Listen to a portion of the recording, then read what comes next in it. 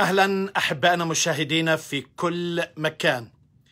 اليوم تأملي آه، بسيط جدا لكنه قوي جدا في نفس الوقت. ما أقصد العنوان أو الموضوع سيسحق الشيطان سريعا.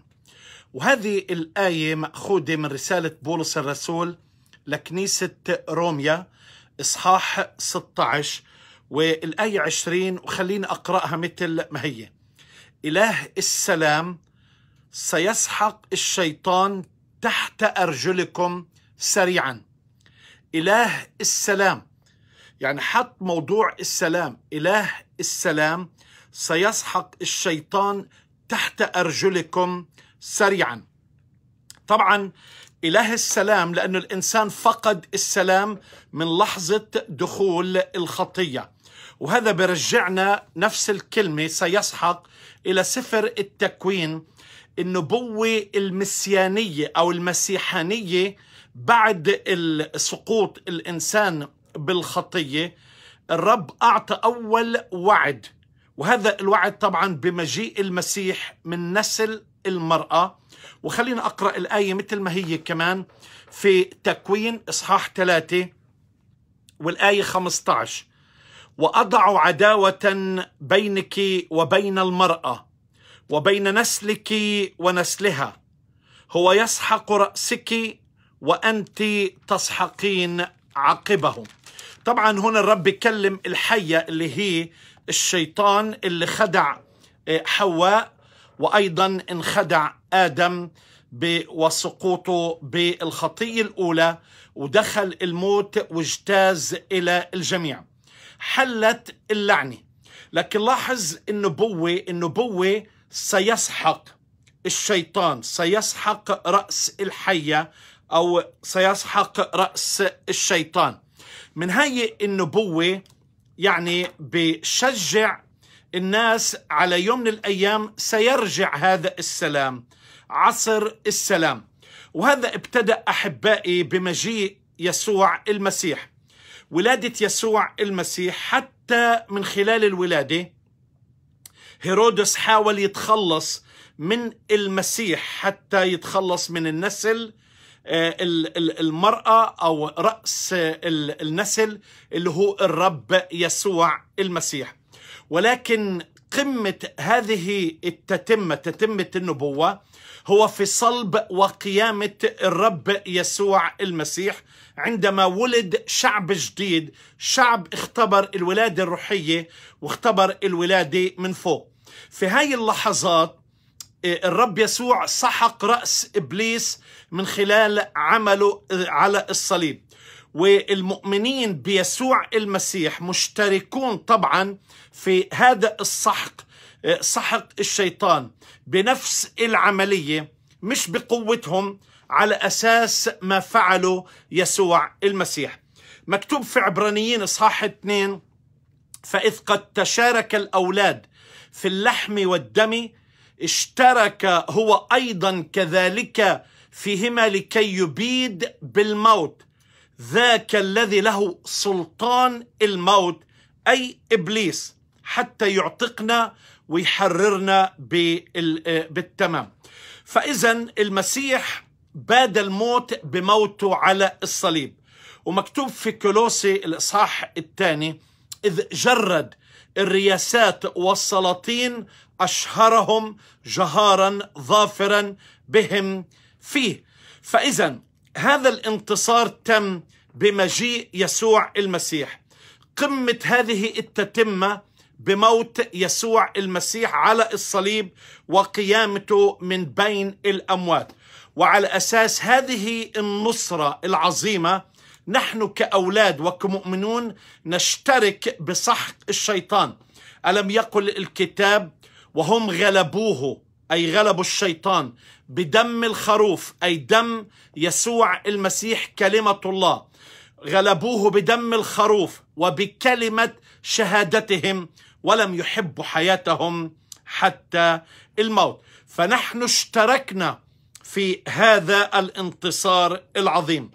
لكن قمة هذا الانتصار يوم من الأيام لما المسيح فعلا بيعلن الانتصار الكامل بحسب ما هو مكتوب في سفر الرؤيا إصحاح عشرين والآية عشرة. مكتوب وإبليس الذي كان يضلهم طرح في بحيرة النار والكبريت وبكمل بقول وسيعذب ليلا ونهارا إلى أبد الآبدين وهذه النصرة التامة والكاملة إنه كل مؤمن لازم يعرف حتى لو أنت بتمر في ظروف صعبة لو أنت مجرب حتى لو بذكرك في ماضيك وبحاول يغويك أو يغريك أو يسقطك ويشتكي عليك في أي وسيلة في أي طريقة بذكرك في الماضي ذكره في مستقبله وتكلم بإيمان.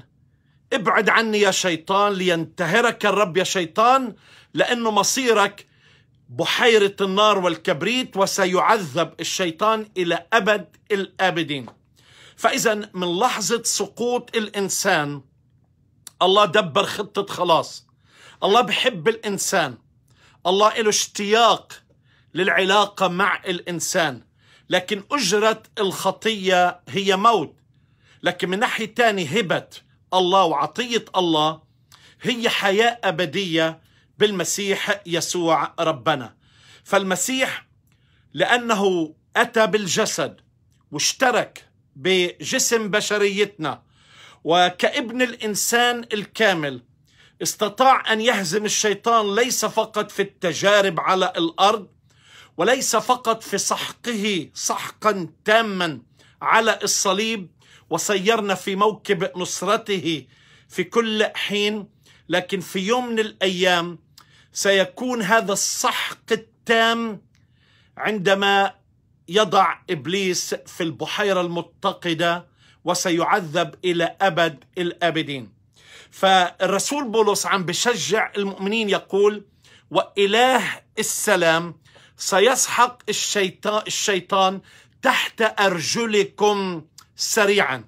إن هذا الوعد سيسحق رأس الحية لأنه ممكن يعني مثل ما بتقول النبوه إنه ممكن الماكسيموم يعمل اللي عمله الشيطان هو أن يسحق عقب المسيح أي يسبب له الألم. لكن المسيح سيسحق رأس الشيطان. يعني بلغة الملاكمة سيضرب الضربة القاضية ويهلكه إلى أبد الآبدين وإحنا مشتركين في هذا الانتصار. لأنه بالحقيقة إحنا من نفس النسل. لكن المسيح هو رأس الخليقة الجديدة اللي سحق الشيطان. اتشجع اتشجعي. يا من تمر في تجارب يا من تتألم في هذه الحياة يا من كما قال المرنم لأنك جربتنا يا الله محصتنا كمحص الفضنا دخلتنا في النار في الماء والنار جعلت ضغوطا على متوننا ركبت أناس على رؤوسنا يعني في مزمور 66 من آية 10 لآية 12 أنا جبتها بالعكس الآية لكن مكتوب ثم أخرجتنا إلى الخصب. فإذا غرض الله مش تضلك أنت عايش في سلبيتك عايش في ماضيك عايش في فشلك عايش في هزيمتك في عارك في خزيك الرب رفعنا. افرحوا في الرب. سيسحق الشيطان سريعا. ولاحظ إله السلام. ال الإنسان فقد السلام. وهذا السلام يرجع مكتوب عنه في روميا خمسة واحد. فإذ قد تبررنا بالإيمان لنا سلام مع الله بربنا يسوع المسيح. لكن في يوم من الأيام هو رئيس السلام إله السلام ملك السلام اسمه السلام. مش بس رح يسحق رح يجيب عصر السلام الطمأنينة النصرة الأخيرة والكاملة لأولاد وبنات الرب اللي عانوا كل أنواع المعاناة. لكن شو بنتعلم من هذا الدرس؟ إن أوعك ينضحك عليك. أنت إنسان قوي.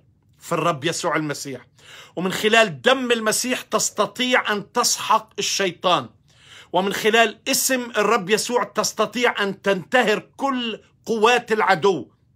فأنت اتمسك بوعود الرب وتشجع.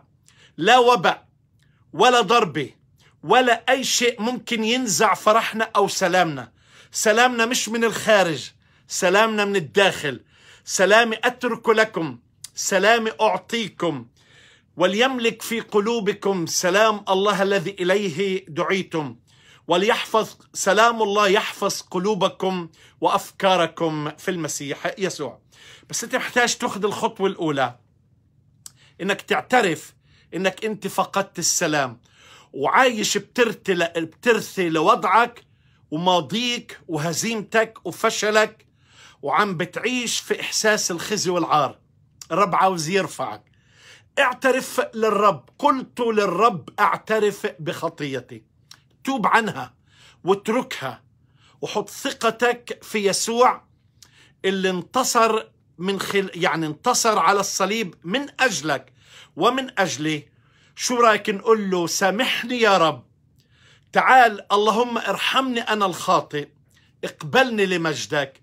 وأنا اليوم عاوز أقبلك تكون ربي ومخلصي. إذا الرب لمسك بحب أسمع منك. جرب تحط like وكمان كون شريك معنا في الخدمة. اعمل share على هذا الفيديو حتى أكبر عدد ممكن يتشجع بهذه الرسالة والرب يكون معك ويباركك.